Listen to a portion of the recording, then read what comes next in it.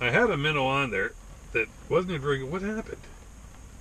Look at that. A great part of the great outdoors, North Country Outdoors Radio. Hi, everybody. Curt Quesnell back on Lake of the Woods. Saturday morning now. Uh, just got set up.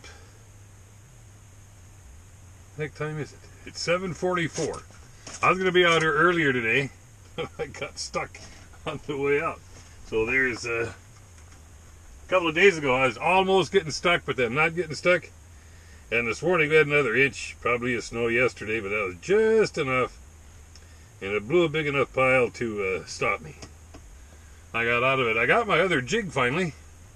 My two little jigs, they wound up in the same bag, so here's my little tungsten eyeball jig with a minnow now. Since I set up, uh, line's going down for the first time here. I uh, I've seen three fish, three fish come through uh, before I even got my line down. So at least there's fish around today. Last time out, I didn't see anything. There's one down there now. You gonna come back? Really? Sure, here he comes. Look at this.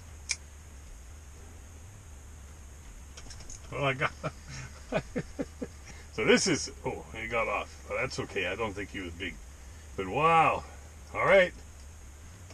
My uh, bait is still there in good shape. The fish is still down there too. Here he is. Uh, here he comes again. Wow. Boom. Got him that time. Wow, he seemed like it's a big fish. No, not a big fish. Let's see losing the fish here.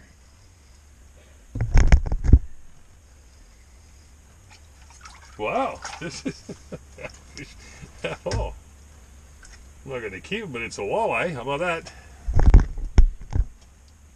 So two minutes in, I missed a fish and got a fish. Bye, buddy. Getting my first line down again. Yeah, there was fish around right away. Good. So I've been here 10 minutes. Caught a fish. All right, first line is down. Whew. That's probably the same fish that I saw before I got my lines down. This has got another tungsten jig on it. This one is pink. All right, you've seen this one before. Didn't do much, but this isn't bad.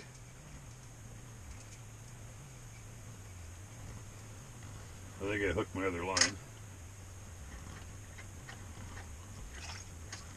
This one keeps easy. Got him fish trap now. Gotta open the bail on this one.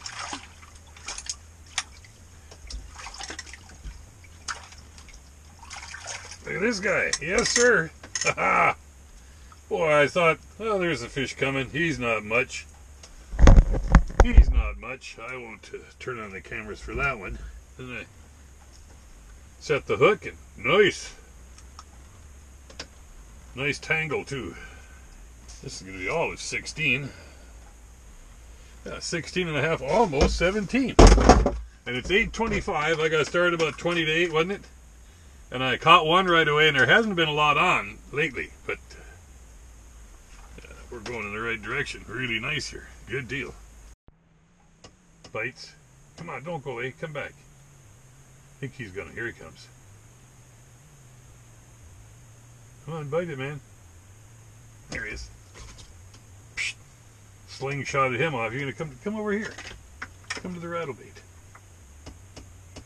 See, he just took my my minnow. Did you see that? My minnow came off and was floating. It's 8.41, so I've been here an hour.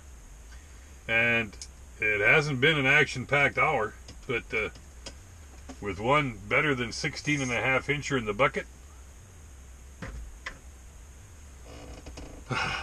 Because it might be 9, you know, it might be 10 down there.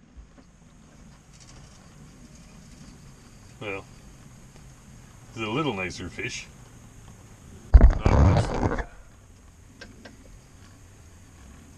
Came right in, bit. Oh yeah, man.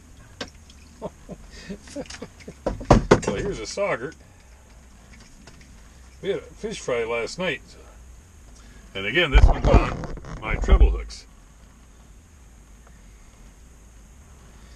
Well, now that I've got in my hand, I think he's a 13 incher, but heck no. 14 inch sauger. So this is good. Uh, one little one, a couple of uh, nicer ones. Well, that's two. So I have been out here uh, an hour and 45 minutes. I've got two that I kept, some that I've missed. It's a lot better than it was my last time out. Uh, and the fish are nicer. I think I've caught maybe five, and I've kept two of them are keepers. That's a good ratio. I like in that, and the ones I've got are solid keepers, no problem.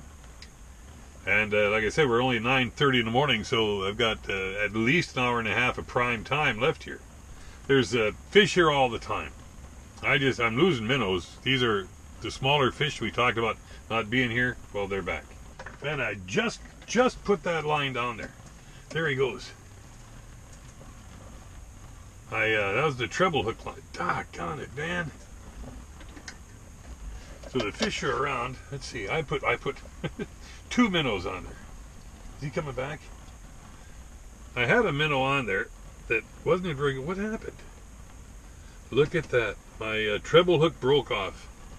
I may catch. Oh man. I'm sure I don't have another treble hook out here. Oh, come on.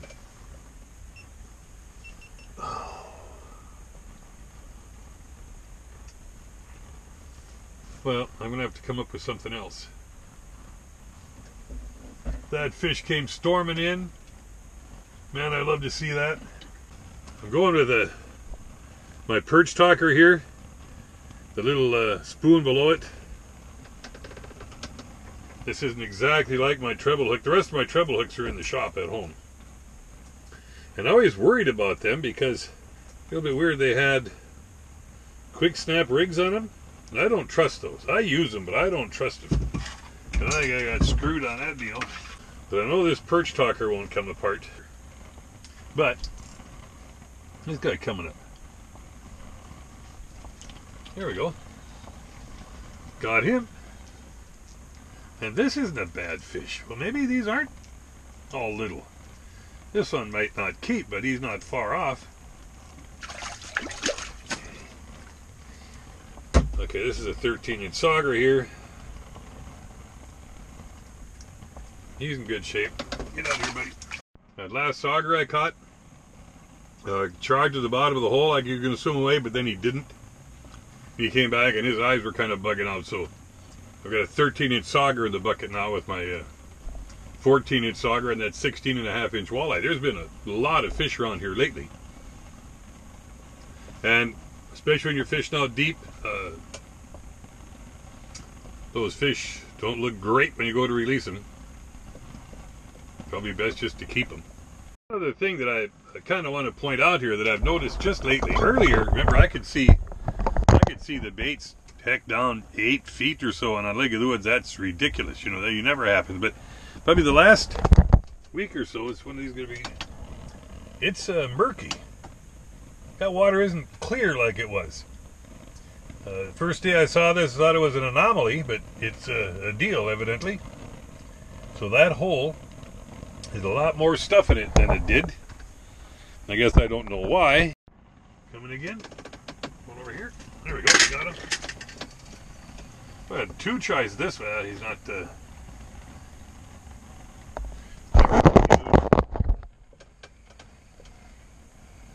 well, it's funny they don't get off when they do that.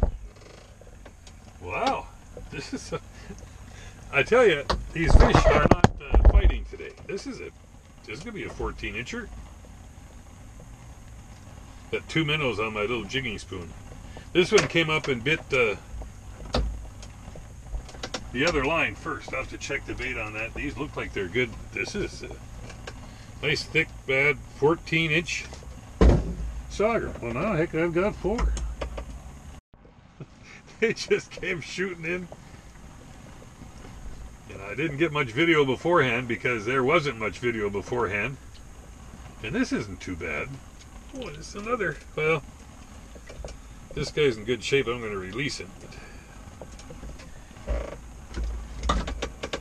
Yeah, just just like they're supposed to do. Okay, buddy, you go? Yeah, he took off big. Good. Whew. Well, I probably should have measured that one, but uh, he was like 13 inches, not 14, and it was important that I get him back quick.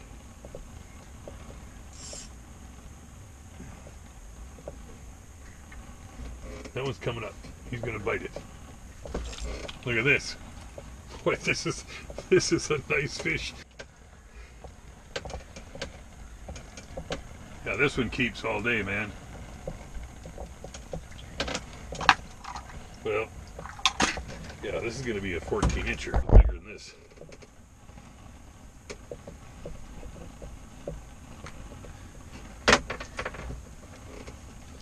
That big 14 incher is a 13 incher. Keep going, buddy. Got him, got him, got him. Well, this one came shooting in from the side. I was just putting the other line down. This, I'm going to say this is a nice one. Can I get? Hope you can see it. Yep, here's a nice walleye. It's to keep. This is a very good, thick, nice, big, fat. I'm to go with 15 inch walleye. Well, this is a 14 and like three quarters. Uh, it's 1027. This is my fifth one here.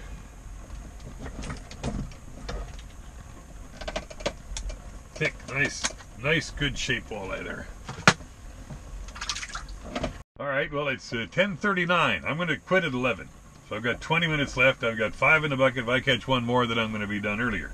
I'm not sure how many more of these we're going to get done. I just want to thank everybody for following along this winter. If you haven't done it, when you get to the Curt Quesnell YouTube channel, click subscribe. Every time I get a new video, you'll be notified, and that way you'll see it right away. I plan on fishing hard through next Wednesday anyway, so I'll be out here three or four more times if I can find bait. but uh, this has been glorious. Thursday I was out here to fish for an hour and a half and kept two. Yesterday I fished for three and a half hours and didn't keep anything. And today has been right what kept me out in this spot. Like I said, within uh, within 20 yards of where I am right now is where I've been fishing for almost three weeks. Yesterday and the day before were a little bit slower, but we had that weather come through that that could have messed things up. So I'm not going to leave this spot until we're done now, I'm pretty sure.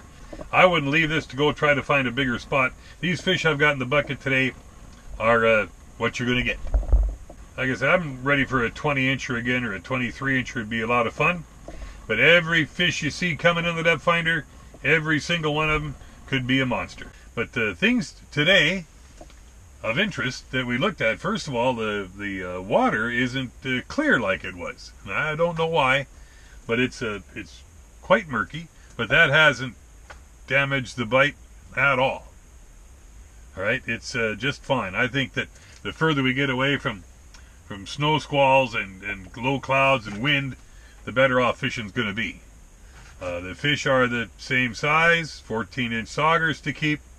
Walleyes 15 and better. Uh, if you stick to those, get most of what you want in the course of a day. If you want 13 inch saugers, well, heck, you can be done, still done, in a couple of hours. Uh, it isn't that fast that way like it was, but it's uh, still good. From uh, Lake of the Woods, I'm Curt Quesnell. Remember to keep it clean, and we'll see you out here somewhere soon. Well, hopefully, on the ice.